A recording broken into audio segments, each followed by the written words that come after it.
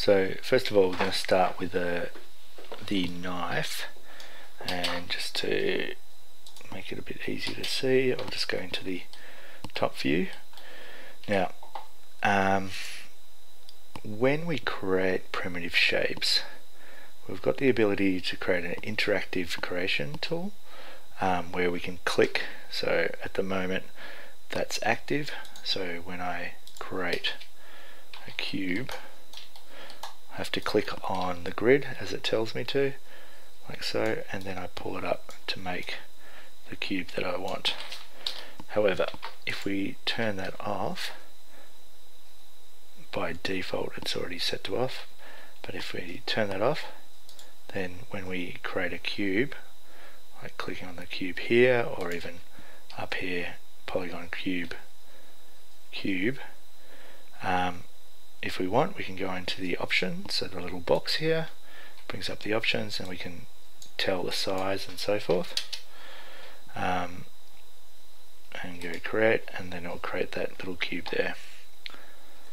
So let's just keep keep that one there and we're going to use this guy for for our handle and we'll start to block out the handle. So just with the cube I'm just going to scale it up to to match and just to see through the cube I'm going to chuck it onto um, x-ray mode through shading x-ray and now I can see through it but I've still got uh, the polygons visible rather than just plain wireframe which you can always get by clicking the 4 key. 5 brings it back to shaded mode. Okay so first of all um, I'm going to create just stretch out this cube by selecting the vertice right click on the cube go into component mode and select vertex and then marquee select by clicking and dragging selecting those two. W key if you haven't got the move tool activated already. Um, and then whoops move that up to around about there where the handle starts to change. So the benefit of using the um, uh, handles is we can restrain to different axes so which is rather nice. And also with the scale we can also scale everything in towards each other which is also quite nice. So there we go. We've started with the handle. Now areas of uh, not concerned at this moment is down the bottom here. And what we're going to do is we're going to really just block in the basic shape and then add detail to it as we go along. So now that's that's done we're going to go in go back to face mode and select that end face like so whoops. And I'm going to extrude out that face. So let's go back to the uh, top view. Oops I've already dropped it. So I'll go back face mode um, easy way to change your navigation and so forth is pressing the spacebar holding it down and then we've got different hot boxes by clicking in the different areas up the top up the top down the bottom. And in the middle if we click we've got the choice of different uh, viewpoints. Um, so I'm going to go for the top view from there and that, that's an easy way to get there okay so now we're going to extrude out and just going to extrude it out. And I'll in a minute I'll move it across but I'll just keep everything coming out for the time being straight. But I'm going to create an extrusion every time there's a you know major change in the movement or change in the shape.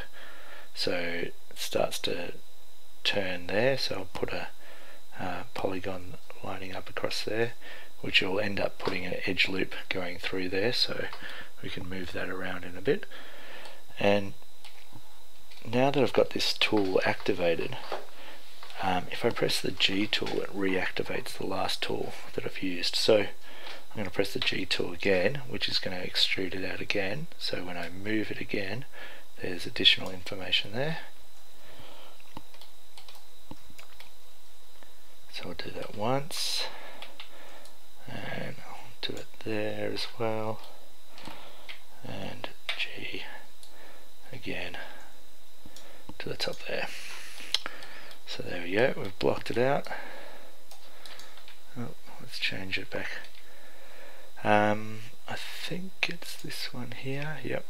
So that's the x-ray shortcut key same as going into there just so we can see through it again.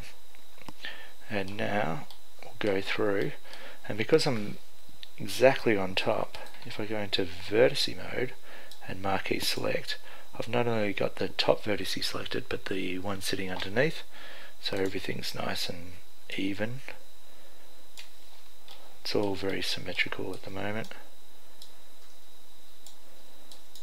And the beauty of this method is you can quickly sort of uh, block out the shape with only you know moving a few vertices around.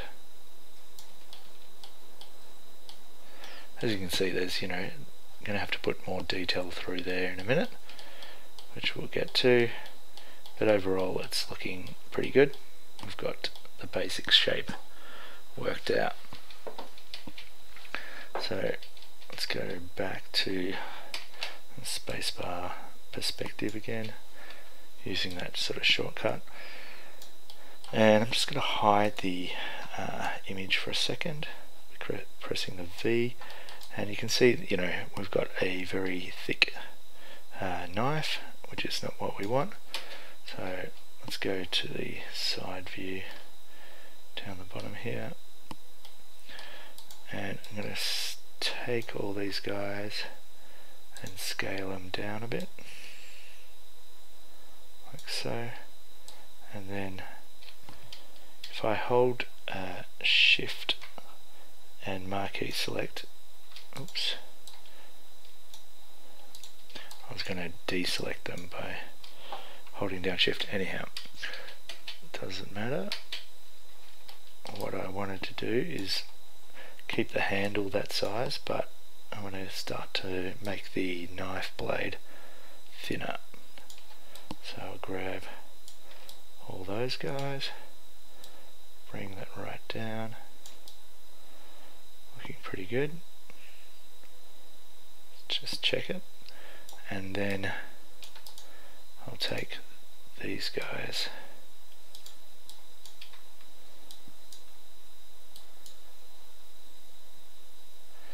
and bring those guys down as well because that's going to be our sharp side of the knife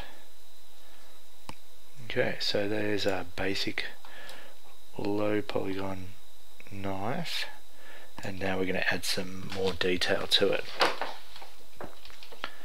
So let's bring back the uh, template and how we're going to add more detail is using the insert edge loop tool.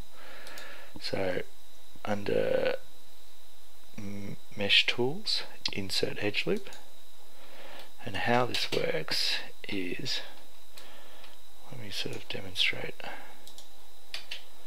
by coming in here. So how this works is you click on an edge and if they're four-sided then you'll create a loop going around it.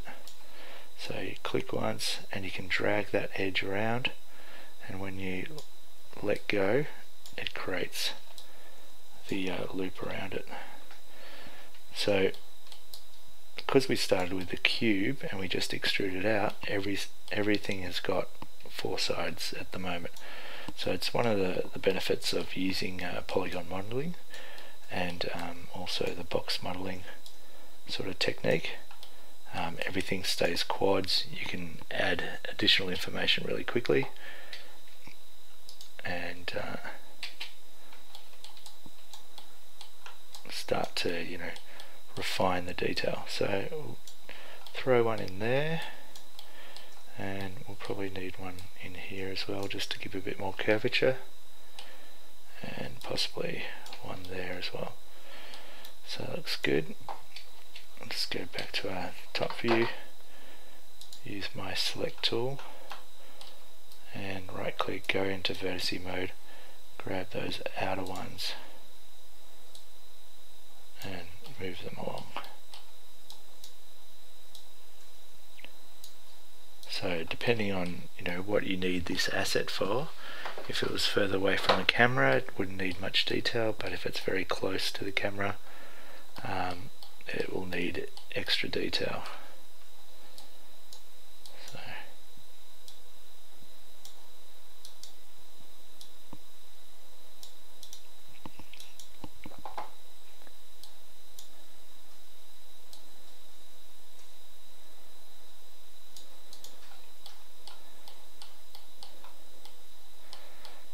Okay, that'll do for now. We'll come back to that in a minute.